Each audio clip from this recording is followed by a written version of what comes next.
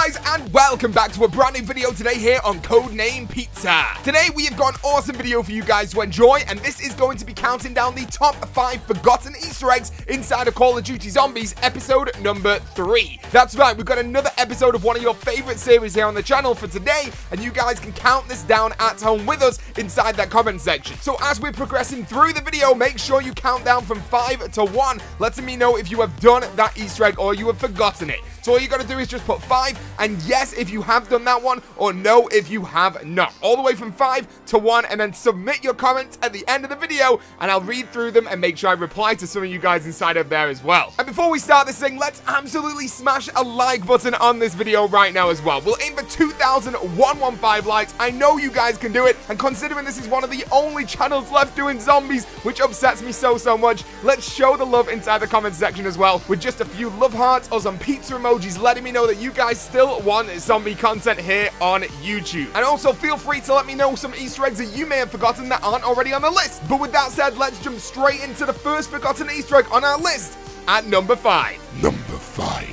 So coming in at number 5 on this list is an Easter egg from Black Ops 3, and probably the map on Black Ops 3 that everyone seems to hate the most, Zetsubou no Shima. That's right, we've got multiple Easter eggs on Zetsubou no Shima, but this one definitely stands out for me to be one that everyone seems to forget. Now, I put two Easter eggs inside of this one just because I feel like they're quite connected. So the first one is going to be the half price perk Easter egg. That's right, you guys may or may not know this, but you can actually get perks for half the price on Zetsubou no Shima. And it's actually relatively simple to do this as well. All you've got to do is make sure you do all the challenges on your challenge board, and then you'll be able to unlock the lightning strikes into the map. Now, once the lightning starts coming down, make sure you've got a shield and get your shield shocked by the lightning. And now that you've got an electrified shield, you've just got to go over to a perk station and melee it. It's as simple as that. So you guys can see right now I make my way over to the Juggernog machine, I melee the Juggernog machine, the machine becomes all electrified, and when I walk up to it, it says I can buy Juggernog for 1,250 points instead of 2,500 points, meaning that it's a half price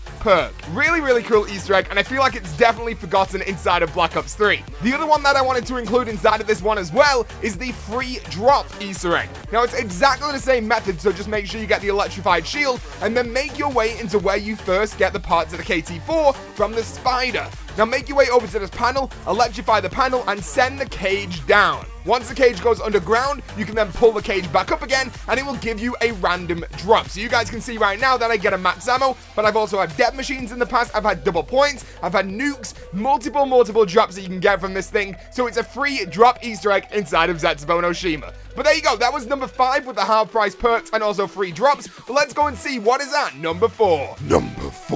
So coming in at number 4 is an actual Easter egg that originated on Black Ops 2, but then came back for Black Ops 3 inside of Zombie Chronicles. And this Easter egg is on the map Origins. Yes, you guys seem to love Origins. It seems to be probably the favorited map in the entirety of the community, except for maybe Mob of the Dead. But there is one Easter egg on this map that seems to get overlooked, and no one seems to do it. Now, that is the 115 Easter egg. Do you guys know what I'm talking about? If you don't, listen up. So we have generator stations inside of the map, right? We've got generator 1 all the way up to generator 6. Now, on these generator stations, we've actually got numbers on the floor. And also, you guys know that 115 is, of course, the magic number inside of zombies because of element 115. So all you've got to do to do this Easter egg is make your way over to generator 1 where we see the 1 symbol on the floor. Make your way up to it and hold down your action button, so either square on PlayStation, X on Xbox, or F on PC. Now once you've done that, you'll hear a sound of like pressing a meteor over on Kino der Toten,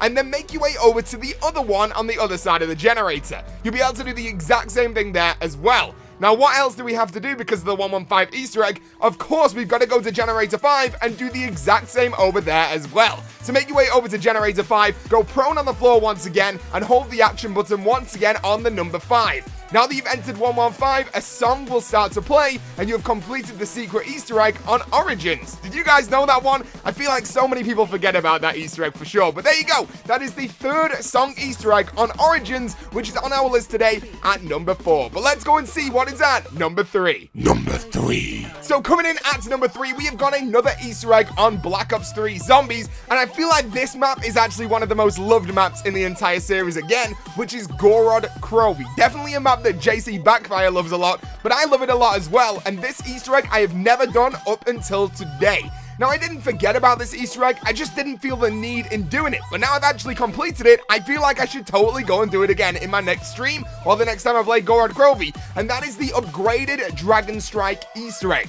That's right, if you guys never knew, you can actually upgrade the Dragon Strikes inside of Gorod Krovi. Now, to do this, of course, you've got to get yourself the normal Dragon Strike by doing the lockdown step over near Pack-a-Punch, and once you've unlocked that, you've got to get yourself 50 kills with that Dragon Strike. And once you get those 50 kills, you'll hear a dragon roar and you'll know that you're on to the next step of this Easter egg. Now, this is where you've got a little bit of a tricky thing to do because you have to now walk around the map trying to find a flag.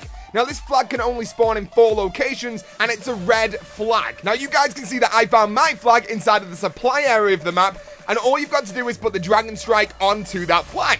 Once you've done that, you'll hear another roar, and you can make your way back to the Pack-a-Punch area where you first did your lockdown step to actually unlock the first Dragon Strike. Now you'll be able to activate another lockdown sequence, but this time you need to make sure that you are getting kills with your Dragon Strike out of the map. As long as you get around 10 kills with this Dragon Strike, once the whole lockdown finishes, you'll be able to make your way back to where you got the original Dragon Strike from, and the upgraded Dragonite controller will be available for you guys to pick up, and that is your upgradable Dragon Strikes. Now make your way back to the map and you'll be able to see how cool these actually are. Instead of them being green, they'll be fully red. You'll get more fireballs dropped from the dragons as well, and they do more damage to the zombies, meaning you can use these up to higher rounds as well, which is super, super cool. But there you go. That is the upgraded Dragon Strike on our list today at number three. Once again, let me know inside the comment section how you are doing. Did you know about the Zetsubou no Shima half price perks? Did you know about the Origins Easter egg? Did you know about these Dragon Strikes? Put a yes or a no inside of the comment section right now. And let's go and see what is at number two. Number two.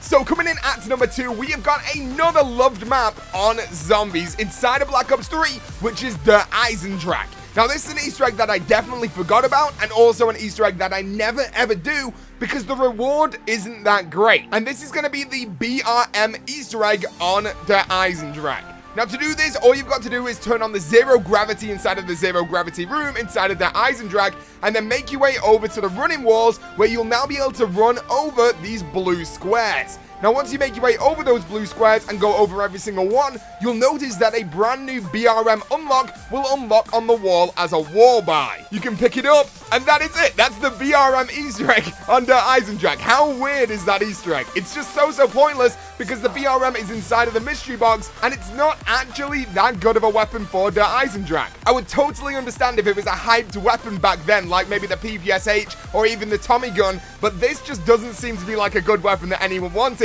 and I don't see anyone doing this Easter egg anymore. But definitely let me know inside the comment section right now, have you guys done the BRM Easter egg? Is it something that you always do? Or is it something you've never done and you've definitely forgot about? Let me know inside the comment section, but let's go and see what is out right now at number one. Number one. So coming in at number one, we have got an Easter egg that I have only done twice. And this is because number one, it's a little bit pointless. Number two, it's quite frustrating to do. And number three, it's on a zombies map that I don't play that often. And that is on Nuketown Zombies on Black Ops 2.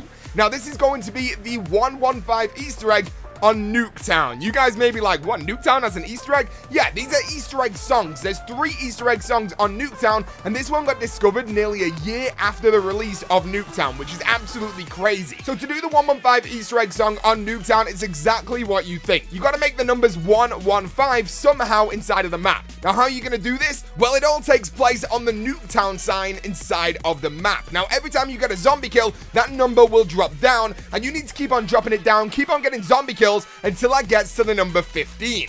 But where's the 1 coming from? Well, the 1 comes from the clock that's in the sky behind you. So that then spells 1 on the clock and 1-5 on the actual Nuketown sign.